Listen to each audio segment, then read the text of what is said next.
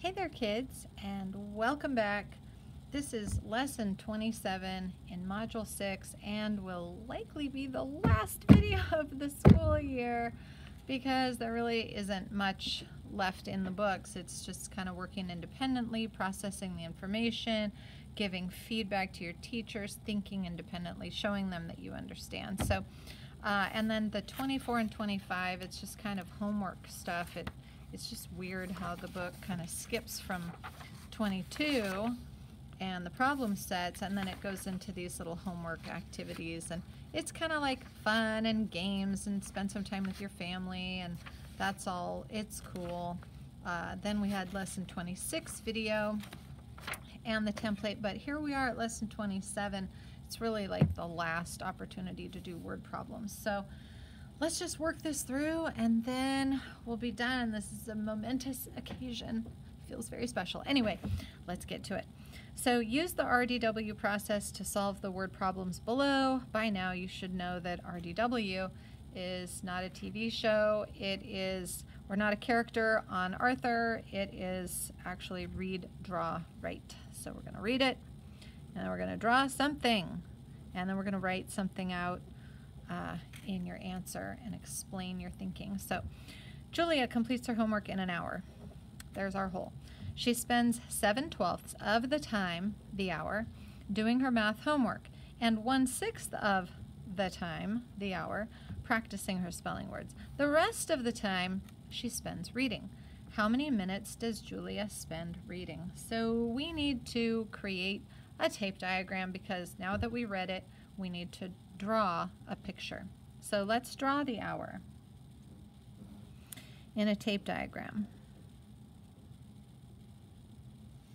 And I know that since I'm going to be breaking this hour up into likely 12 parts, also noting six of them, that if I break it up into minutes, because the final question says how many minutes, um, I know that 60 is divisible by 12 evenly. So let's create these 12 parts. So we'll have, we'll make six pieces, okay, and then divide each of those six in half.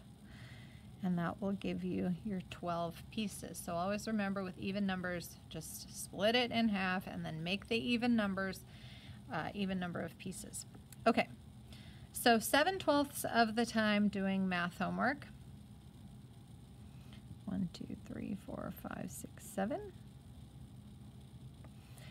And math. And then one sixth of the time. Now one sixth is equal to how many twelfths? And you should know how to get there by now. Um, find the missing factor. What you do to the bottom, you do to the top, and vice versa. So if this is 6 times 2, it's 1 times 2. So we need 2 twelfths that would show the spelling. So take two of the twelfths to show the twelling. Uh, to show the spelling. that was a new word. I made a new word. Um, so the rest of the time she spends reading, how many minutes does she spend reading? So this is the 3 twelfths uh, of the hour reading. But we know that if we take this hour and we call it 60 minutes, that's our equivalent, that we can take the 60 and divide it by 12, and we get 5 minutes per section. And now we have one, two, three. And that would be 15 minutes reading.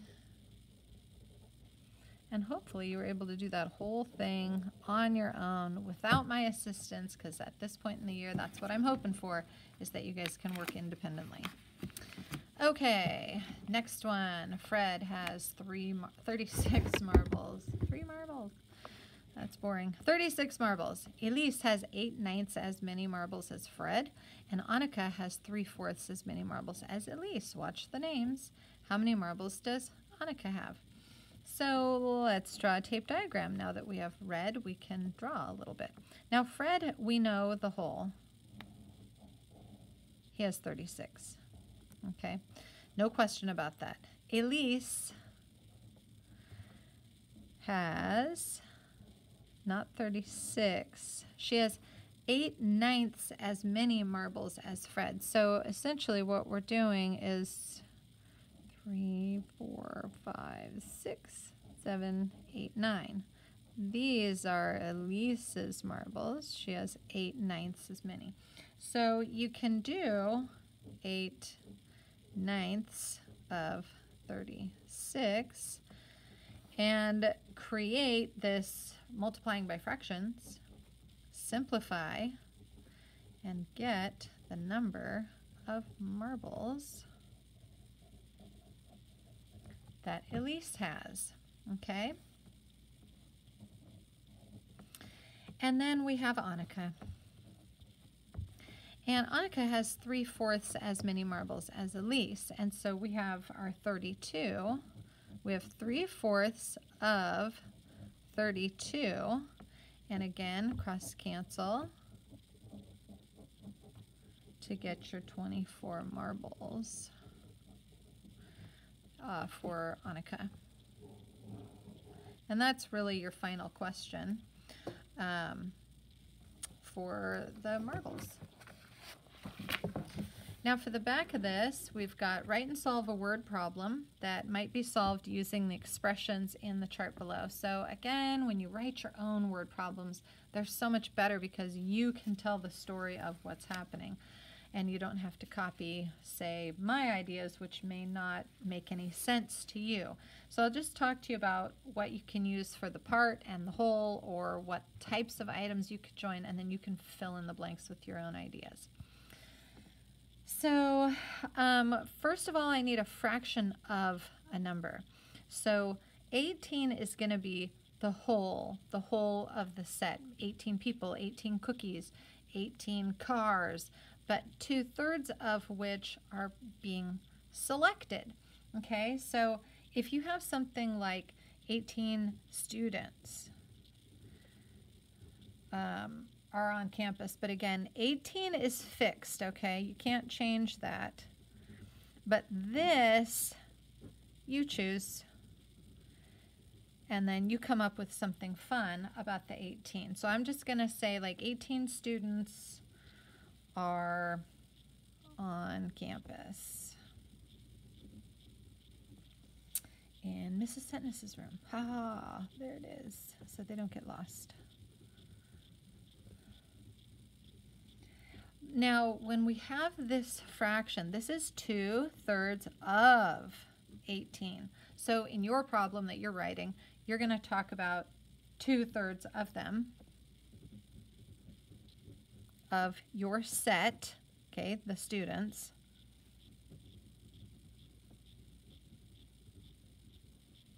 or whatever you have in your word problem. And then what are they doing? Are they wearing hats? Are they wearing shorts? Are they uh, wearing spirit wear? So two thirds of the students are, let's say it's warm out, they're wearing shorts. Okay, so two thirds. So the question then is how many are wearing shorts. And so we're trying to figure out a fraction of the whole. So the solution, you would solve it by multiplying two-thirds or a fraction of a whole. This can be simplified. And then you multiply and you have your answer. So a couple things should stay the same and that would be the 18 is the whole and we're taking two-thirds of it so you do have to multiply. You should end up with 12 but it doesn't have to be students depending on what you write about. Make it a good one. Your problems are always much more interesting than mine. Okay, next one. When you have addition, these are not similar parts, generally speaking. If they were similar parts, you would probably do times 2, so 26 times 2 or 34 times 2. But since they're different size groups, that's why we add. We're putting them together. So we have to do this first. And in your word problem, you have to write about this happening first because the sum must be done because it's in parentheses before you take 5 sixths of that. So think about two different groups of something that you can put together. And then you can take five out of the six parts that are being identified for something else. So let's just say um, if if you know of kids in middle school, okay, sometimes they go to DC. So let's say middle school parents are meeting about the DC trip.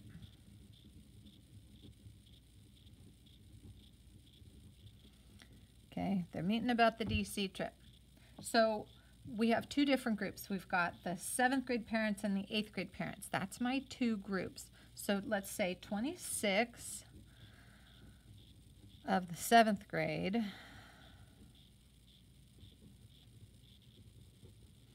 parents, but also what's the other number? 34 of the eighth grade parents attended. And you can talk about, it doesn't have to be the parents. Obviously, it can be, you know, different groups of something. If you want to write about fish, write about fish. Um, now you have to take the fraction. So 5 sixths of all the parents. Remember, you have to have all because that's what sum means. Did not have the paperwork completed, or maybe they haven't paid yet. Uh, did not complete paperwork.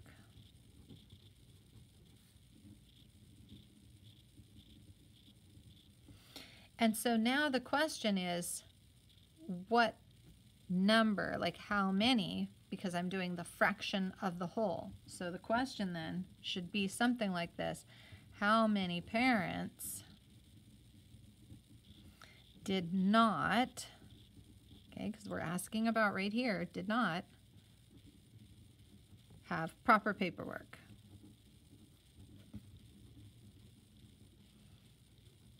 Okay, and so we really need to do the addition first. First, because it's in parentheses, then we're going to multiply by 5 sixths. So uh, sometimes I'll just get lazy and I just move things over. Okay, so we have 60, and so we're really taking 5 sixths of 60. And since I see that 60 and 6 are both very compatible, then I end up being able to cross cancel and I get 50 over 1. And so it's 50 parents do not have paperwork. Okay. And this is the last one. Gosh, these videos have been fun. Um, click subscribe, come back again, or tell your siblings and friends who are going into fifth grade that they can follow along with these videos and I hope they're helpful for next year. Um, I will probably try to add a few videos and perhaps work on the homework next year now that I have a little bit, uh, hopefully we'll have a little bit more time. Um, okay, last problem here. So now we have a whole. Subtraction is a little bit different. You have to start with the whole and then you're going to take pieces from it. Okay, so that's going to be a little bit trickier. Um, 7 has to be the total, so we're not going to end up with anything larger than 7 as our answer. So if you think about things that can be broken into fractions, like, say, sandwiches, like Subway sandwiches or something, then uh, you can start with your seven sandwiches, and let's, we're going to have a party.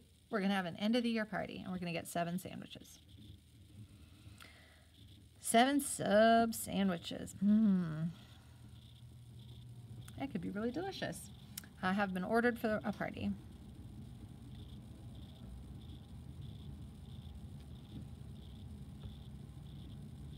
A party. Uh, oh, but let's see. We have to take away, so let's um, let's have something, something falls on the floor. Five twelfths, now they're, they're cut up into these pieces. Five twelfths of one falls on the floor.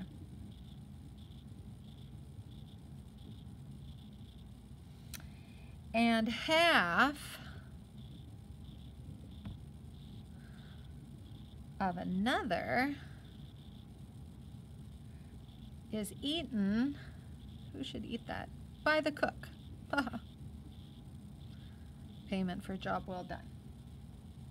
How many sandwich, how many sandwiches are left? Okay, or what fraction of the total sandwiches are left? So if you take your seven, and we have to do this fraction work first.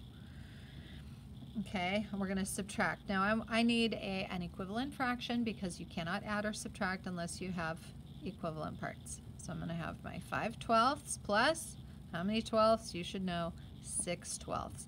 That makes 11 twelfths. Now that's what I'm taking from the 7. You just bring that down and 7 minus 11 twelfths. Now you know when you subtract, you have to go down to the previous number and then try to complete it. What's missing here? 1. And that's how you get your answer. So 6 and 1, 12 sandwiches are left. That's still plenty for the party if they're divided into 12 pieces. Lots of people can eat those six sandwiches. So anyway, Yay! Job well done. Good job. Congratulations. You're all moving on to sixth grade. And I hope you find some good videos in sixth grade. If I had sixth grade books, I would make sixth grade videos, but I don't have one. So anyway, thanks for being great subscribers. You guys are awesome. And I will see you hopefully on another video sometime. Bye now.